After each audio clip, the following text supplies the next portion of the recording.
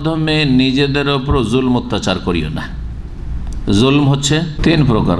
জুলম হচ্ছে তিন প্রকার। প্রথম জুলম হচ্ছে বড় জুলম। হচ্ছে শির করা।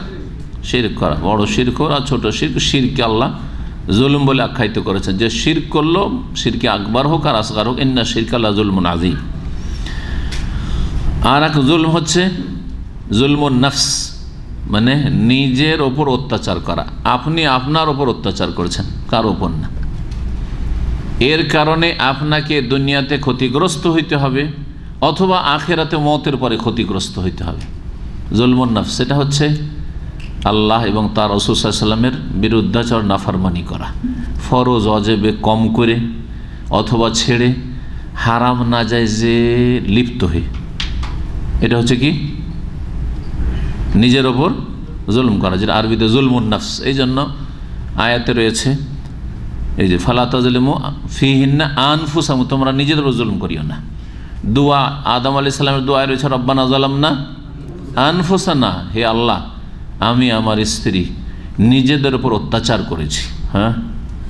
ফামিন হোম জালেমুল নাফসি মুসলিমদের কতক এমন আছে যারা জালেমুল নাফসি নিজের ওপর জুলুম করে। এই নফসেহি বলে জুলমের কথা অনেকগুলি আয়াতে কোরআন খেলে বর্ণিত হয়েছে।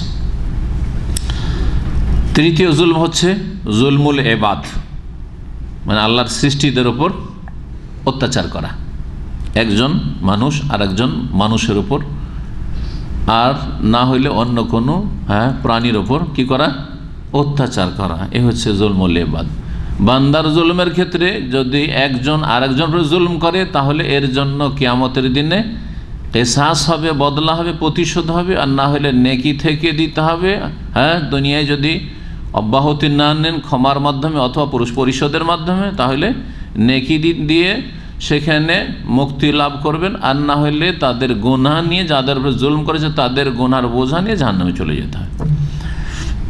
নিজের উপর যদি জুলম করে থাকেন, তাহলে আল্লাহর কাছে ক্ষমার জন্য তবা যে রয়েছে তবা যে শর্তগুলি ঠিক রাখলে চলবে। শিরকের মতো জুলম যদি হয়, ওই অবস্থায় মারা যায়, বড় শিরকে জুলম করে, তো কোনোদিন জান্নাতে আসবে না।